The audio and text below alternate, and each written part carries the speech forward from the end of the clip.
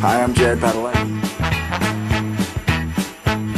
Oh, when you're down and looking for some cheering up, then just head right on up to the Candy Mountain Cave. When you get inside, you'll find yourself a cheery land, such a happy and joy-filled and perky Maryland. They've got lollipops and gummy drops and candy things, oh so many things that will brighten up your day. It's impossible to wear a frown in Candy Town. It's the mecca of love, the Candy Cave. They've got jelly beans and coconuts with little hats, candy rats, chocolate bats. It's a wonderland of sweets. Ride the candy train to town and hear the candy band, candy bells.